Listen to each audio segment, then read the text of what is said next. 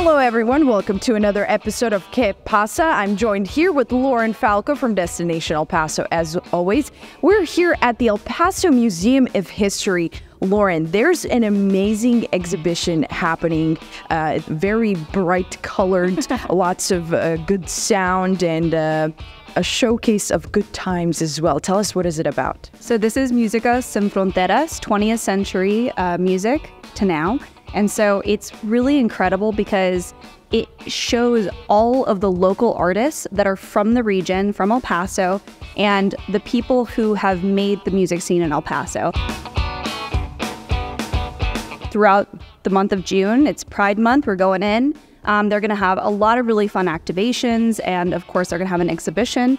Um, there's going to be the Pride pop up that is happening right now all through the month of June. Um, it's a really cool like part of history that a, lot of people don't know about in El Paso.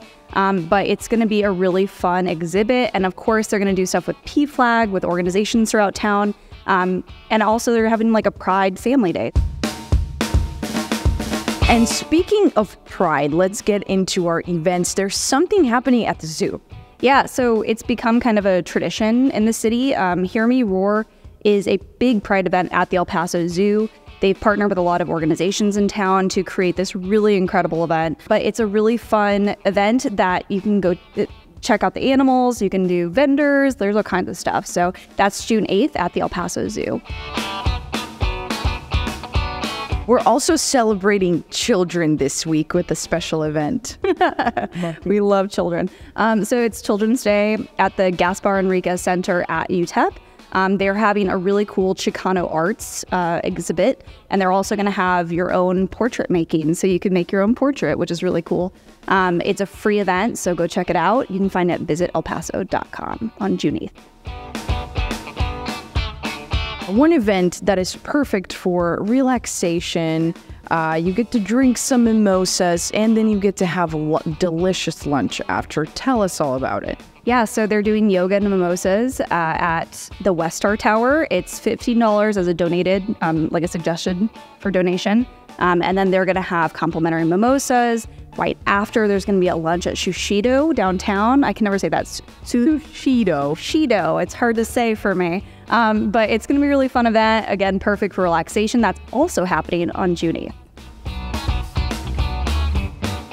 They're going to do Purple Rain special screening uh, on the big screen at Flix Brewhouse on the west side.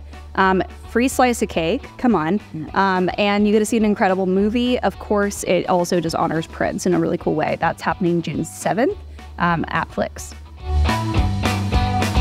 Juneteenth, um, it is the second annual cultural gala for Juneteenth. Um, it's a big celebration that they're going to hold at the Plaza Theater.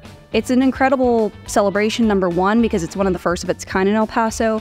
Um, and then, of course, of course, it honors a really big, momentous occasion in not only the city but the you know the nation. Uh, you get to dress up, you get to have a nice dinner. Um, our chef at the Plaza Theater is incredible, so definitely go check it out. Um, it is by ticket, of course, so you have to pay for a ticket, but it all goes towards a really great cause. Um, and then, of course, just furthers this cultural standings. Thank you so much, Lauren. Lots of cool events to attend. Also, this awesome, fun exhibition. We'll go browse around as well. Uh, if you need any more information on all the events, tickets, and dates, go to visitelpaso.com. It has a brand new website. And of course, we'll see you back here next week.